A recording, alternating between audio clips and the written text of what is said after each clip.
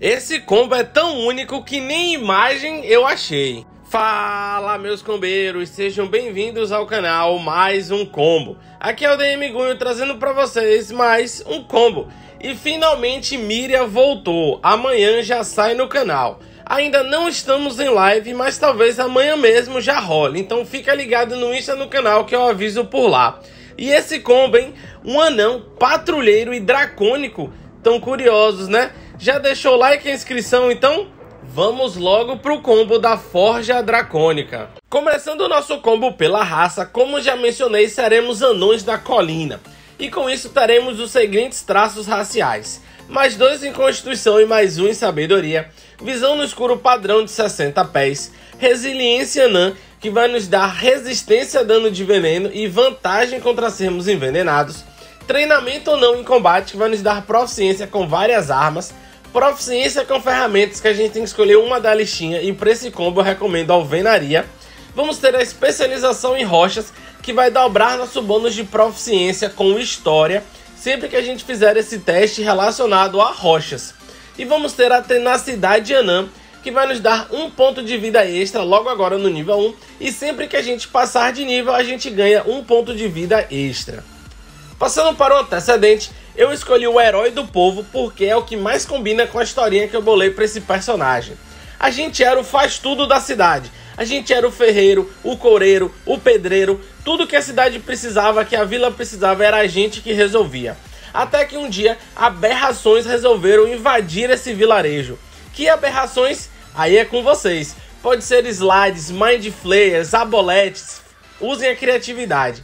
E eu já queria saber de vocês o seguinte: por que, que vocês saíram desse vilarejo? Já que essa entidade dracônica nos deu poder para afastar essas criaturas e continuarmos protegendo a cidade. E é bom que vocês me ajudem na criação dessa história. Com perícias, vamos ganhar adestrar animais e sobrevivência. Vamos ganhar proficiência com a ferramenta de artesão e, como já falei, vamos em coureiro e em veículos terrestres. E nosso recurso é hospitalidade rústica, porque a gente é do meio da galera a gente consegue se enturmar e conseguir alguns benefícios pequenos, como um lugar para dormir, um lugar para comer, informações, sempre no meio do povão e isso é bem legal de interpretar. Passando para os atributos, eu distribuí os atributos padrões da seguinte forma: 15 em sabedoria, que com mais um sobe para 16, 14 em força, 13 em destreza, 12 em constituição, que com mais 2 sobe para 14, 10 em inteligência e 8 em carisma. Começando o nosso nível 1, vamos em Clérigo, porque essa entidade dracônica veio diretamente pra gente. E aqui é divertido que existem deuses dracônicos verdadeiros, como Bahamut ou até mesmo Tiamat, se você quiser ser um cara do mal. Ou vocês podem simplesmente criar um novo com o mestre de vocês ou que faça sentido na campanha de vocês. Com perícias religião e intuição. Vamos ter proficiência nos testes de resistência de sabedoria e carisma. E como equipamento inicial, martelo de batalha, cota de malha, besta leve com 20 virotes, um escudo, o símbolo sagrado e o pacote do aventureiro. Passando para as habilidades e seguimos de fato nosso nível 1, a gente já tem que escolher o nosso domínio. E aqui tem dois que fazem sentido, mas o que eu quero usar para esse combo é o domínio da forja, porque é o que tem mais contato com o fogo. Que a gente já ganha uma proficiência bônus que é armadura pesada e ferramentas de ferreiro. Vamos ganhar também a habilidade Bênção da Forja. A gente pode escolher uma arma ou uma armadura que não sejam mágicos e a gente deixa elas mais um. Eu recomendo que vocês vão direto para arma, já que vocês vão usar escudo e armadura pesada, então sua CA para esses níveis iniciais já vai ser bem alta. A gente vai ter as magias de domínio, que estão sempre preparadas e não contam no número de magias que a gente pode preparar. E são elas Identificar e Destruição Lancinante vamos ter nossos truques e nossas magias. Como truques, chama sagrada e orientação. Como magias, bênção, infringir ferimentos, já que a gente vai estar corpo a corpo, e palavra curativa, apesar da gente não ser suporte, essa curinha é sempre útil. Passando para o nível 2, a gente, como eu falei, teve que sair desse vilarejo, então a gente já vai fazer uma multiclasse para patrulheiro, e vocês vão entender já já. A gente ganha proficiência bônus que eu recomendo atletismo, e vamos ter o nosso inimigo favorito, sim, do livro do jogador. E é por isso que eu escolhi o patrulheiro. Porque com esse inimigo favorito a gente vai escolher o que? As aberrações que acabaram de atacar nosso vilarejo. E a gente ainda ganha um novo idioma em um dialeto subterrâneo. Vamos ganhar o Explorador Hábil, esse sim do Tasha, que vai nos dar a habilidade de Astuto, que vai dobrar nosso bônus de proficiência em uma perícia. Eu recomendo Religião. Passando para o nível 3, vamos ganhar o nosso estilo de luta. E vamos em Guerreiro Druídico, justamente para a gente poder escolher dois truques de druidas que para a gente vai fazer a maior diferença para a gente não precisar mais aumentar nossa força. Porque a gente vai pegar Bordão Místico, que a gente vai dar esse benefício de poder bater com sabedoria, e a gente ainda pega Selvageria Primitiva, que é o que eu recomendo que vocês podem fazer a interpretação de criar essas garras dracônicas, essas presas, até a gente ganhar o nosso ataque extra. Como magias, marca do caçador e absorver elementos, magias clássicas, normalmente eu recomendo que vocês usem marca do caçador se a CA do inimigo for baixinha, ou caso contrário, se concentrem no Bless, que é melhor. Passando para o nível 4, vamos pegar o nosso conclave de patrulheiro e agora nossa entidade dracônica ela resolveu que quer nos testar ainda mais e a gente vai pegar o guardião dracônico para a gente ganhar nosso companheiro primitivo, nosso companheiro dracônico, que vai ser o nosso teste para o nosso deus realmente continuar nos dando poderes. A gente já ganha o presente dracônico que vai nos dar o truque taumaturgia e vamos aprender a falar dracônico. Vamos ganhar, é claro, o nosso companheiro dracônico, que nosso vínculo com ele, quanto mais forte, mais poder a gente ganha da nosso deus. Vamos ganhar a consciência primordial que vai nos dar magias extras e aqui a gente já ganha falar com animais, o que combina bem. E a gente ainda ganha uma nova magia em constrição. Outra magia de concentração que só vale a pena se vocês forem acertar pelo menos 4 inimigos. Caso contrário, se mantenham na benção. Passando para o nível 5, vamos pegar nosso primeiro aumento de atributo e aumentar nossa sabedoria em mais 2. Passando para o nível 6, vamos ganhar o nosso ataque extra, podendo agora dar dois ataques por turno e agora o bordão místico é o melhor truque. Vamos ganhar uma magia extra em sentido bestial e vamos pegar a magia Invocar Besta, porque essa magia não requer ação nenhuma nossa para essa besta atacar. Então aqui é ação, dois ataques, ação bônus, comanda o companheiro dracônico e a gente ainda comanda a besta para atacar. Então a gente tem quatro ataques no turno. Passando para o nível 7, vamos ganhar o Explorador Abre Aprimorado, que vai nos dar o Errante, que pra gente é excelente, porque ele vai nos dar 5 pés de deslocamento extra, então a gente volta para os 30 pés padrão, e a gente ainda ganha natação e escalada, que com certeza vão ser úteis. Passando para o nível 8, vamos ganhar o vínculo da presa e escama. Essa habilidade vai dar um upgrade no nosso companheiro dracônico e aqui eu recomendo que vocês façam a interpretação que o seu corpo também está mudando por conta da evolução desse vínculo, fica bem legal.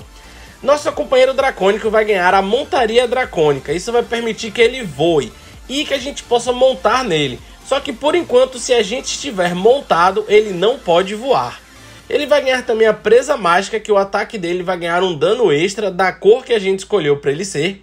E a gente vai ganhar a resistência, que literalmente vai dar resistência ao dano associado à cor do nosso companheiro dracônico. E o mais roubado dessa habilidade é que toda vez que a gente invocar esse companheiro, a gente escolhe a cor dele. Então, se você vai enfrentar um bicho de fogo, traz ele vermelho para você ter resistência a fogo. Se o bicho causa dano de gelo, traz ele branco para ganhar resistência a dano de gelo e por aí vai. E como magia, ajuda, afinal, ponto de vida nunca é demais. Passando para o nível 9, vamos continuar aumentando o atributo e novamente aumentar nossa sabedoria para deixá-la no 20 e a gente ainda ganha o passo da terra, em que a gente não vai tomar dano de plantas não mágicas e nem vai ter nosso movimento reduzido, que pode vir bem a calhar. Passando para o nível 10, vamos deixar patrulheiro um pouquinho de lado e voltar para clérigo, porque nosso vínculo com essa entidade está ficando cada vez mais forte, já que a gente está passando em todos os seus testes e a gente já volta ganhando Canalizar Divindade.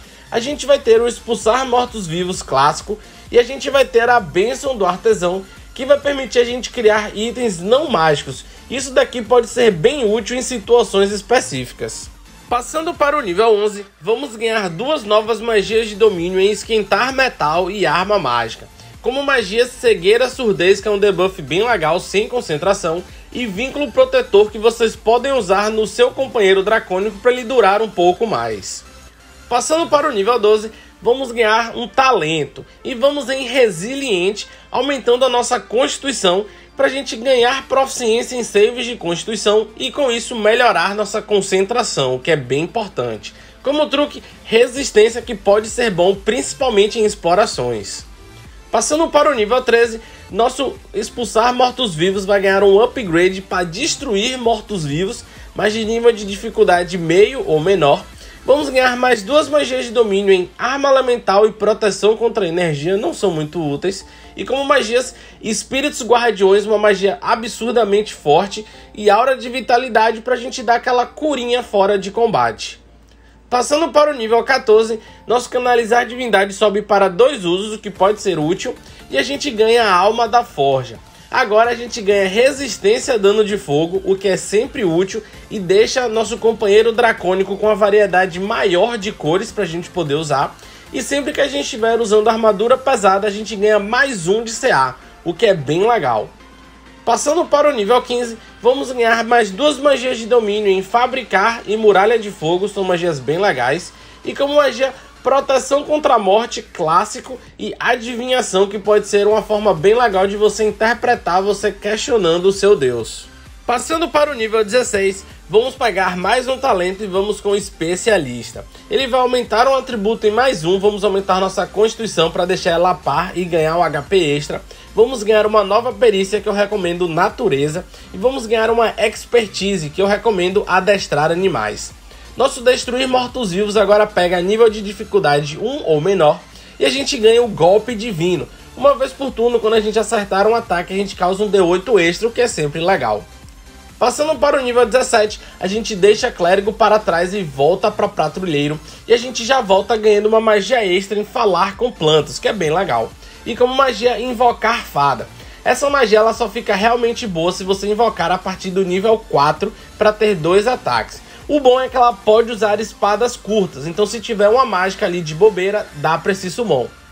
Passando para o nível 18, vamos ganhar o Véu da Natureza que vai permitir que a gente fique invisível, que pode ser bem útil.